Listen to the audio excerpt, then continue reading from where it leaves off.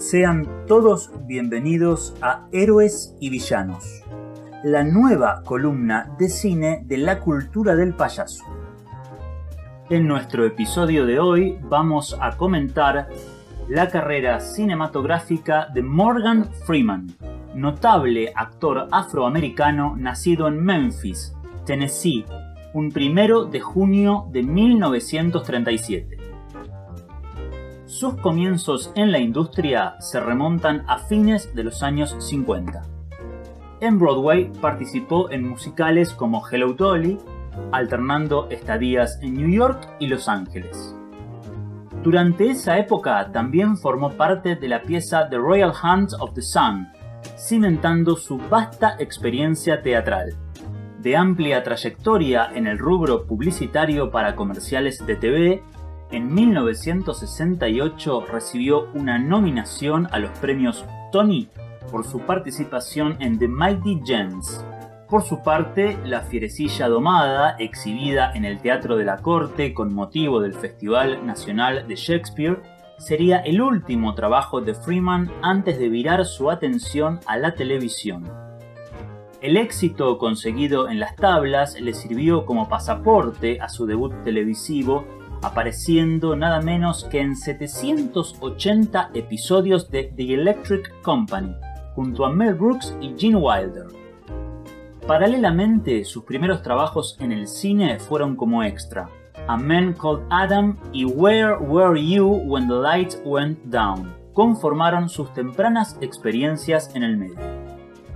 Su relación con el séptimo arte se formalizó tardíamente en los años 80 Luego de su debut a las órdenes de Robert Redford en un pequeño rol en Brubaker, a mediados de la década, Freeman comenzó a obtener preeminencia en varios films de gran calidad, ganando una reputación gracias a actuaciones inteligentes, sensibles, humanas y paternales.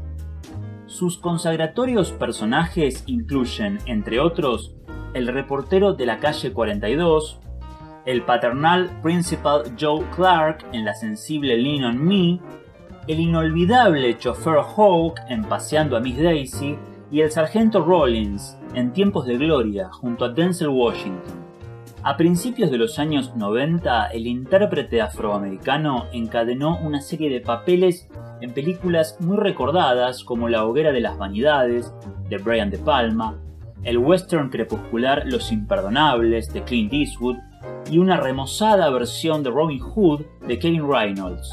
Freeman daba sobradas muestras de elegir correctamente sus papeles y poseer un talento innato. En 1993, el intérprete se daría el gusto de debutar tras las cámaras al mando del drama social Bofa, interpretada por Danny Glover y Alfred Woodard, labor que no ha vuelto a repetir hasta la fecha.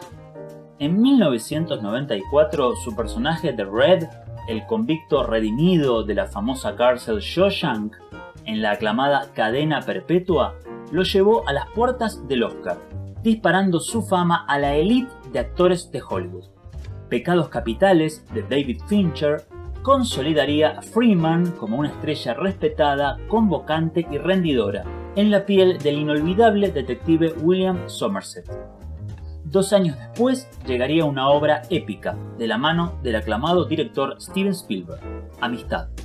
Allí interpreta a Theodore Judson y el film deja ver una sensible mirada acerca de la esclavitud, propio de un actor comprometido con el activismo social y la igualdad de derechos.